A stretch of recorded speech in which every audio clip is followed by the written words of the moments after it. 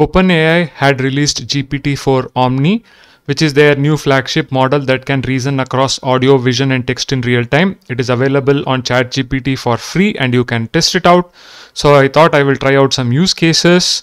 Um, so when you log into ChatGPT, it actually asks you whether you want to upgrade to ChatGPT 4o, whether you want to use that model. I said yes, and then you get this option of uploading a image.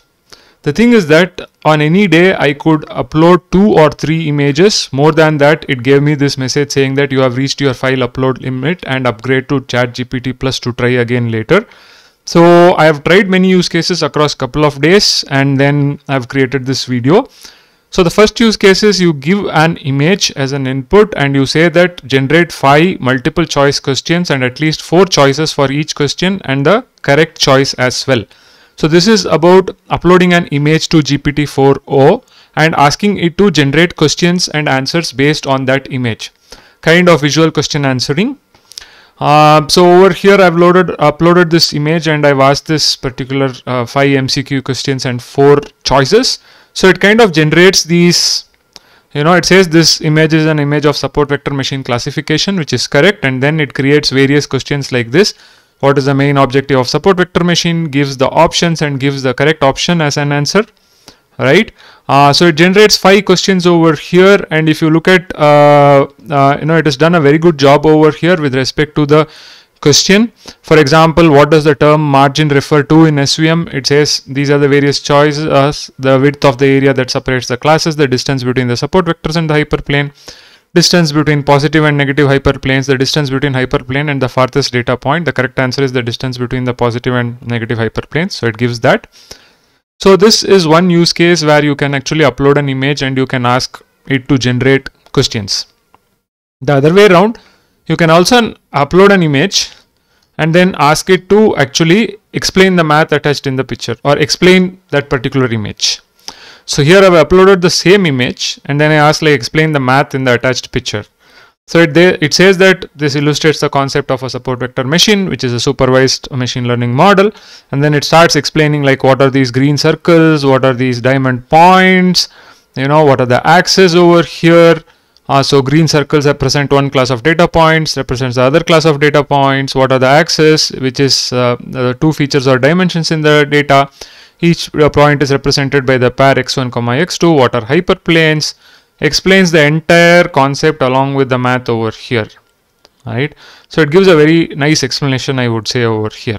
So this is the use case where you want to give a picture and learn something about that. Okay. Then I tried to give another image of an Indian meal. Right. And then I said, can you calculate the calories? I wanted to see whether it identifies the vegetables, the rice and other things over here. So it says that there are mixed vegetables present, possibly pumpkin, beans, carrot and other vegetables, which is quite accurate over here. Alright, uh, in a curry or stew, red rice is there, paneer is there and it says let's break the components. It looks like an approximate quantity of 1 cup of these vegetables. So it could be 80 calories per cup. Red rice looks like half cup which is like 100 grams. So this is the calories paneer it has identified say uh, you know assuming around 50 grams of paneer uh, you know this is 130 calories per 50 grams and it, it gives the total calories over here. Now what if i ask over here what is the protein content? I don't know whether it will be able to do it but let's check it out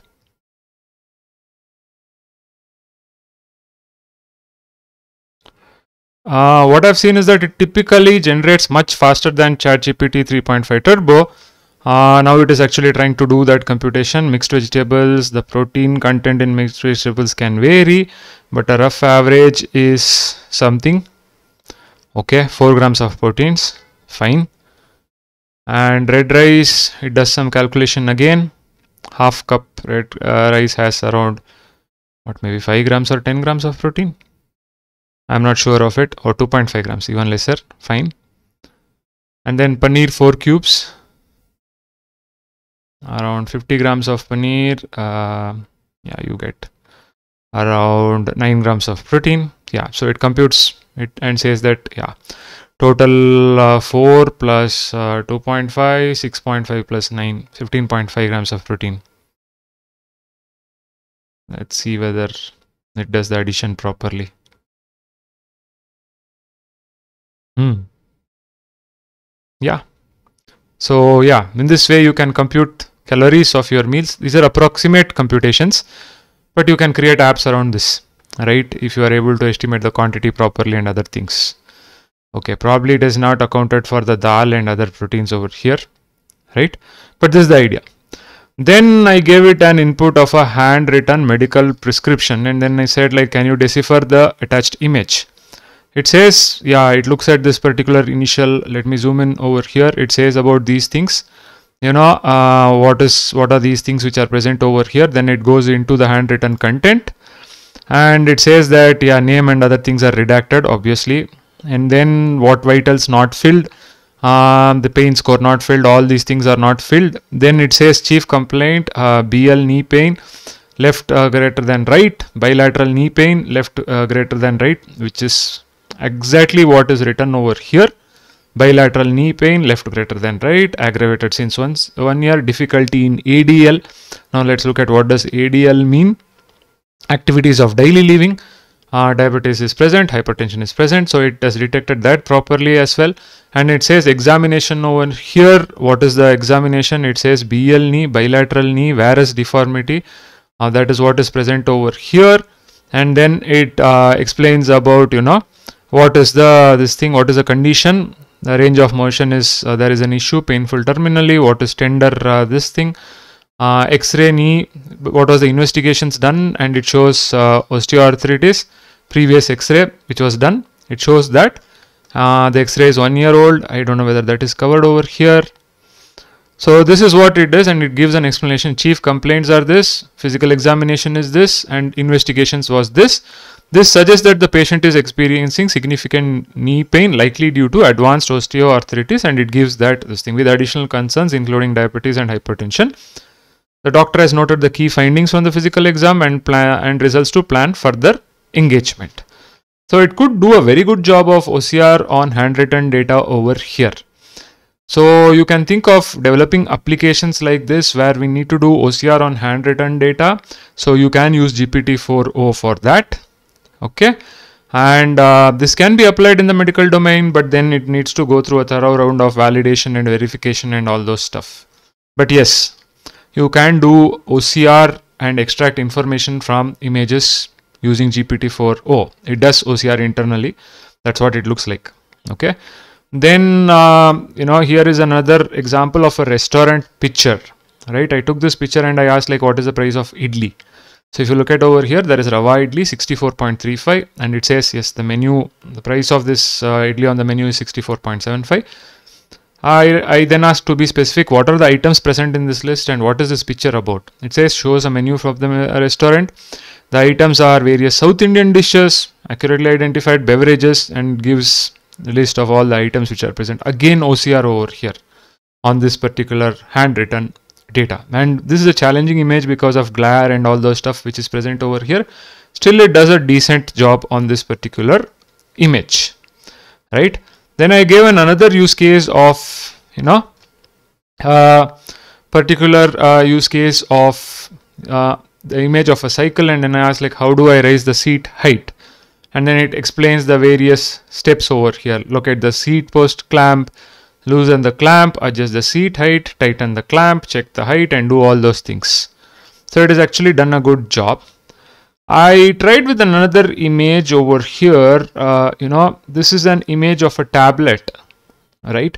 And I am asking like, what is this image about? It's a composition of the ingredients of the tablet and here it for some reason it did not work and it said that this image is not supported format. But previously in GPT-4 vision I could get this image running. So I'm not sure what is happening over here. So sometimes it throws up this error of uh, you know the image not being compatible the format. Okay?